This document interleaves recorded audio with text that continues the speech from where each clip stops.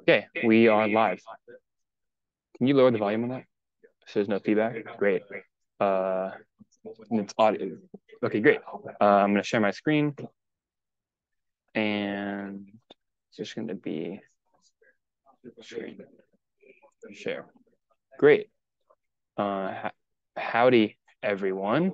This is Steven Mendelsohn.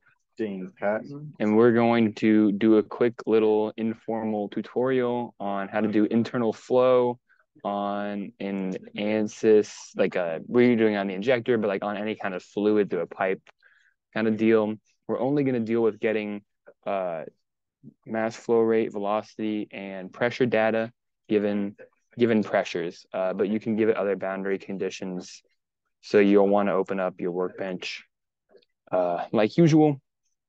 Um, as far as the CAD file, we're using a SolidWorks assembly file. And from there, we're going to create an internal volume to that of where the fluid is going to flow. So you can have your whole system uh, as a solid, and then you can extract it and make a new. Basically, we're gonna we're gonna make a new part file from this if it won't act up.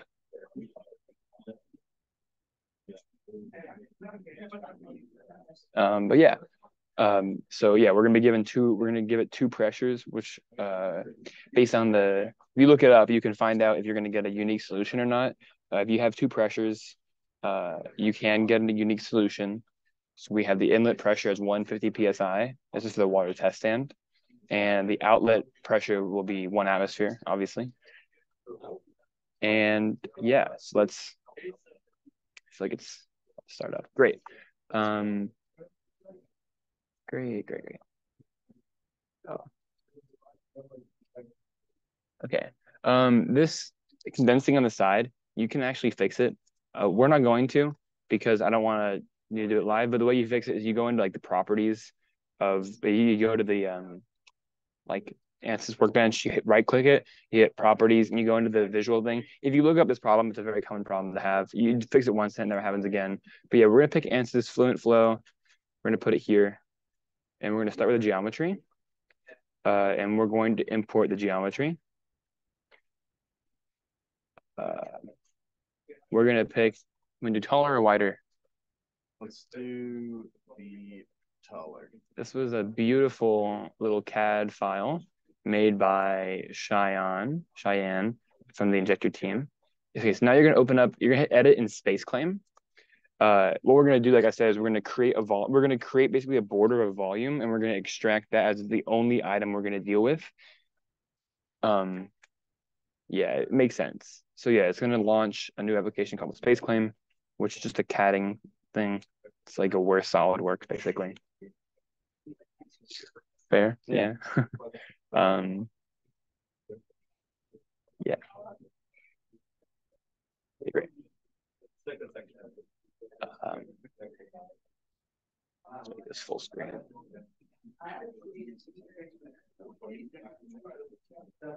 It'll take a second. This whole process, uh, most a lot of it will be waiting. Uh, that's just kind of the nature of running this kind of program you can kind of see your status uh, over here in the bottom left of any program. It shows kind of what it's doing. If you're waiting, it's like when you're running your your simulations, it will show you what kind of what iteration you're on and whatnot. So here you go. Here's the full injector. It should look familiar if you're near the recording date of this video. And what we want is we're going to do it through the oxidizer uh, way because there's two fluids flowing through this injector uh, propane from the side and the oxidizer on the top. We're, and you can't do them at the same time because it's two different things. So we're going to do it through the oxidizer channel. Um, so the very first thing you want to do is you're going to go into uh, prepare, which is this kind of, yeah, this top thing. And you're going to hit volume extract, like I said. And we're going to uh, pick all the services that we're going to send fluid through. So our first one Is this, wait, shouldn't it be, oh wait, it should be edges. So let me just try that again. You go there. Yeah, so you're gonna pick this this one on the right right here. This is just allowing you to, yeah, select edges of it, and it's gonna create a closed loop for you. And then we're gonna turn this to the bottom and it should be all the pink holes or all the lighter holes. Uh, we're gonna pick the edges there as well.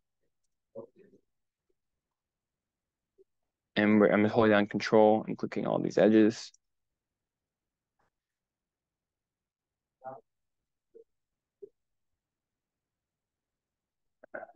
This warning is kind of annoying. It's not important at all. I Just have to go around it. I think it's blocking one of my holes. Yeah. Oh, don't forget the middle hole. That's really hard to click. Okay, great. So now we're done with that. We're hit check mark. And what it's going to do is it now has created a geometry, like I said, inside of there. And the final thing we have to do in SpaceClaim, you can kind of see the geometry right here, but we'll we're going to disable all the other ones. So we're going to suppress it for physics. And then we're just going to hide them. Hmm. Uh, I think we can just delete it, right? Oh, great. Okay. So now we have this volume. This is where the fluid is going to flow, and we forgot a channel. Okay. That is so embarrassing. Um, okay, so when this happens, I think you can just restart. Um, yeah. Uh, so yeah, that is so annoying. But at least we're showing you real problems. If you need to skip this to where, uh, if you did it correctly and you didn't miss a hole, you can skip to when we start meshing. Uh, okay, so we're gonna edit the geometry in SpaceClaim. That is so frustrating. It, how you just restart the whole thing? You think, or probably? I would. Okay, so. we'll try it again in SpaceClaim and see if it all showed up again. I could have probably hit Control Z. That probably would have been smart. Yeah. That's what you're here for, to help make sure I don't be stupid. That process though would be the same if we were doing the fuel side though. You would just select the one on the side and do the same process. Yeah, the important thing is make sure your holes. It will. It won't let you make a volume otherwise. Okay, so let's hit Control Z.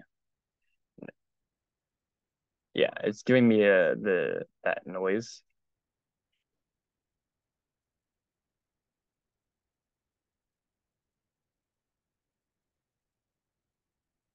Okay, so yeah, we're gonna have to restart this. That's so annoying. But oh, can you pause the recording? But Okay, as you can see, we've slugged out all the holes. Uh, we've had a member of the engineering team, Colby, join us. Uh, we're gonna hit check. Like we said before, we're gonna suppress for physics all of these, and we're just gonna delete them. Great. So now we have, yeah, this looks right. This is the basically the surface of the boundaries of where the fluid is going to flow. From here, we can just yeah, we can just leave, just exit out. Colby, how's our audio, by the way? Audio's good. Great, thank you. Okay, now we're gonna go into mesh and we're gonna hit update, or that might not be yet. Actually, it says you hit update, and that's just gonna basically put the volume, all these new the, the physics that we're suppressing, this new volume in into our mesher, so it can be prepared for us when we open it. Um, yeah.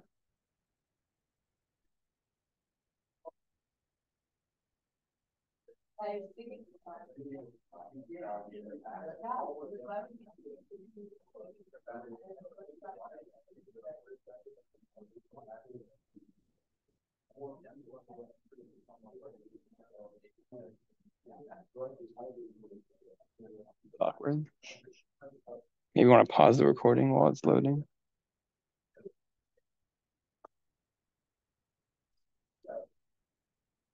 Okay. Um. Yeah. Just right click on mesh and then hit edit. And as you can see in the bottom here, it's kind of small, but it says, uh, oh wait.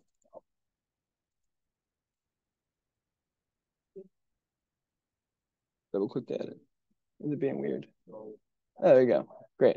So now we're gonna hit edit. Um, we're gonna basically we're gonna refine the mesh. So it's gonna make one out of tetrahedrals, which is nice. That's the shape we're looking for.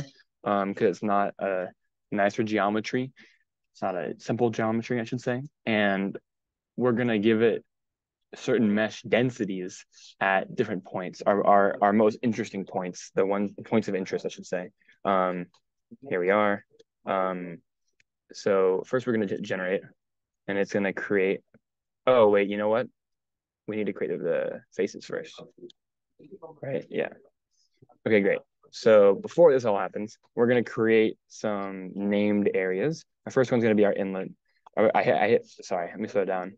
I hit right, uh, right click, uh, I click left click on the inlet, and then I hit right click, and then I'm gonna hit create named section. And this is where I name outlet, uh, sorry, inlet. uh, when you name them actually inlet, outlet, and walls, the program recognizes that you've named it that and it will it will auto assign these name sections in our solution generator. You'll want to do that to the best of your ability to keep these names. I used a weird name one time and i had to like dig through it to find it so just use the right names uh, if you can.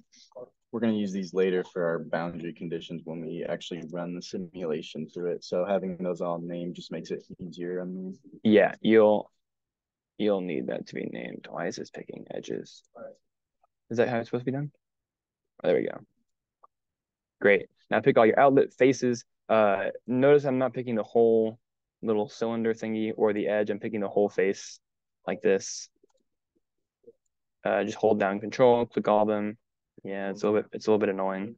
Um, it's not as bad as the the oxid the oxidizer one was a bit more annoying. Okay, great. And now we're gonna yeah we're gonna right click, uh, create name section. This is gonna be outlets.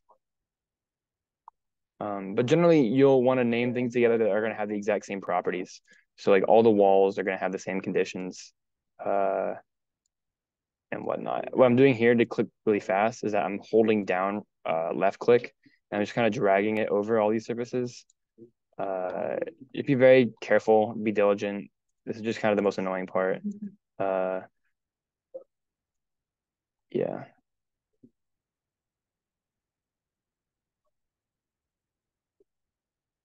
but you don't want to click the ones you've already named and whatnot, obviously.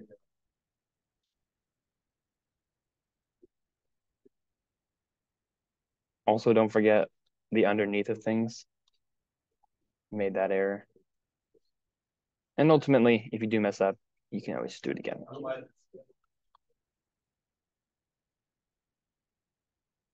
Like I've spun this a hundred times. Okay. Um, looking over, looks good. So we're going to create name section and we're to call this walls. Great. Now we have all these. Um, when we hit generate mesh and then we hit mesh, it will show us our mesh. Really cool, right? Uh, the first thing you should notice is really dense here, not so dense here, really not so dense in the inlet. Uh, for this simulation, our goal was to get the max flow rate at the inlet to suffice our conditions so we could get that number to fluids. So what we wanted to do is make sure it's really accurate. And so we're gonna we're gonna choose to create this service right here, a higher mesh density. Uh, and so we're going to what was it? We're gonna go to mesh and we're gonna hit insert uh was sizing or is it was it contact sizing or refinement? Oh, I used refinement actually when I did it. Uh, you hit refinement and you just hit you just hit enter. Uh, okay, selection. You hit apply on this one face, uh, and then you hit generate, and you click on your mesh to look at it once it's done. See, it's loading with this red. Uh, it will just make it more refined. Oh, uh, you can be more exact with it, obviously.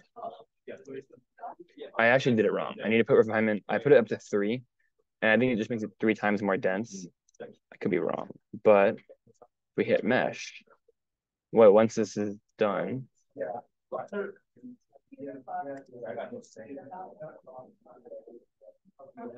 uh, and let's do it to our. We do it the whole stem, or did we do it just the end? Oh yeah, great. So now look, that's way more fine than it used to be. Yeah. And that looks good enough for now. Um, you can do the same thing for the outlets as well. These are a bit, these look really good uh, for density wise. So we're not going to do that, but you could. Um, and then we're less worried about these walls, these upper areas. So we're not going to do anything about it. Uh, so yeah, now we have our mesh. Everything's good here. We're going to hit close. And we're going to hit update. This one should be much faster than the last one. So we're not going to have to pause the video. I say that. maybe, maybe not. It didn't give me trouble when I did it on here. Dane thinks that the uh, Aero computers are faster. Oh, they definitely are. You guys get the second hand. We're currently in the CIC room, I think. Yeah. Creative and collaboration center or whatever. Okay, great. So the check mark is done. Now we're gonna go into setup. You're gonna hit double precision. Uh, one's fine.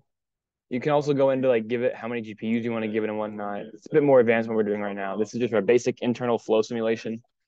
Um, there will be a class probably next semester, so spring 2024. Crazy, 2024 sounds like such a huge number. Uh, on internal, external flow, multi-fluid flow, parallel processing, all this stuff, and this should be well documented, hopefully in the red Google Drive. So, but this is just an introductory internal flow video.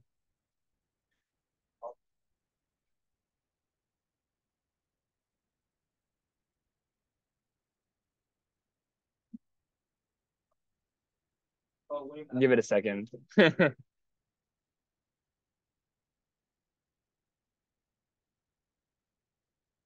Great. Okay. So the next thing we're gonna do, don't worry about the arrows. I always worried about this one having an arrow. Normally one of them doesn't have an arrow. Uh first thing we're gonna do is we are going to go into materials.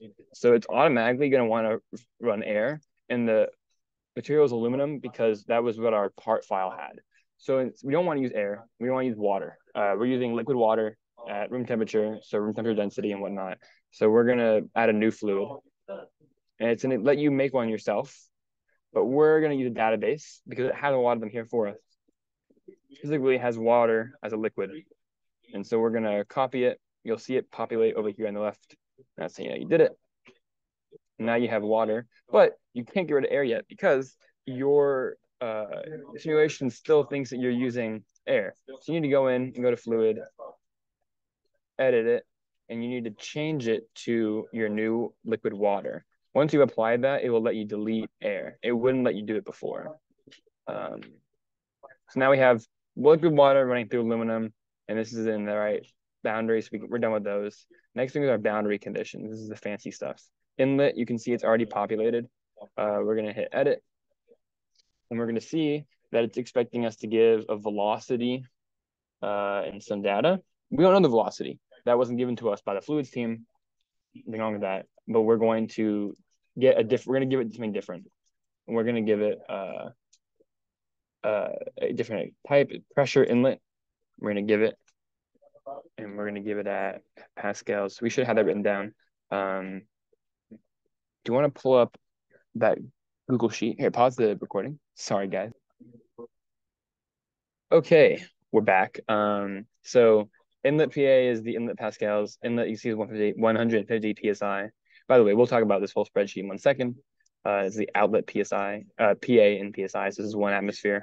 You can tell it's an order of magnitude lower than this one.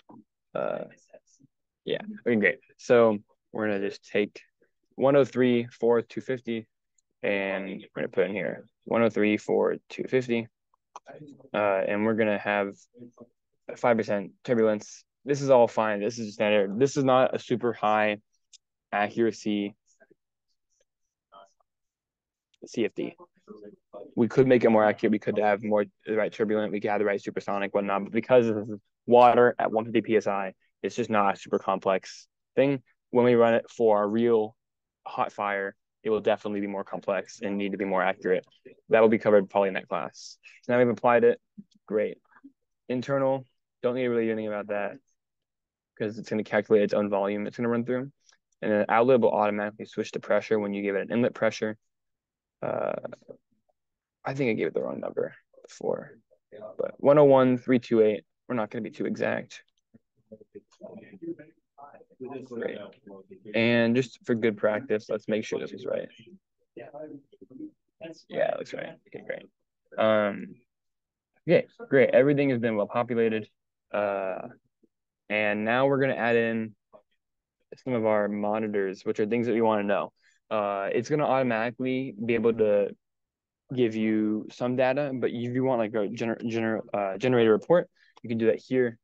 The first thing we want is a report plot make a new one.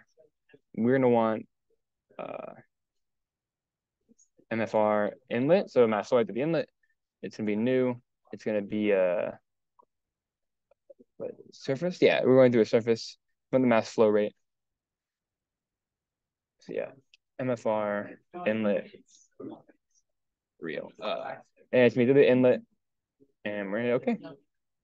And that's gonna generate us. It's been cool. Uh, I think that's all we're gonna do for now. Or do you want to get something else? Maybe pressure. Uh, pressure should be the same. So okay, let's just do this for now because all we this is what we this is the goal of when we ran the simulation to begin with was to get mass flow rate to later calculate the coefficient of discharge, which is a geometric property. So when we do change the mass flow rate or do change the pressures, that won't matter. Uh, it will give us the same number regardless.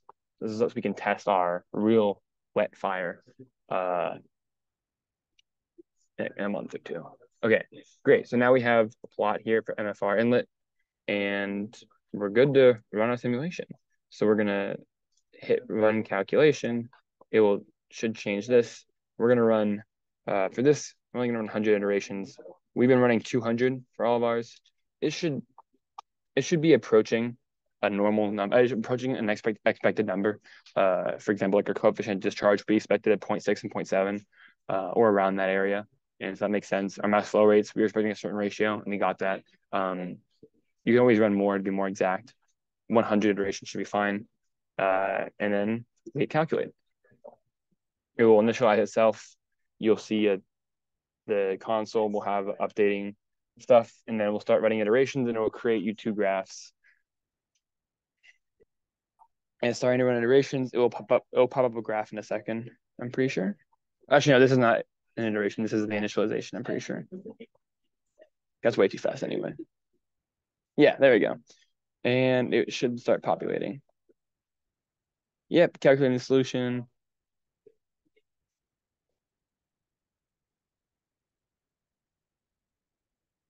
Should give us an iteration in a second. Yeah, there we go. So this is your updated plot. And so you can see dot five six uh one five is pretty close to expected. And there's yeah, now it's on two iterations.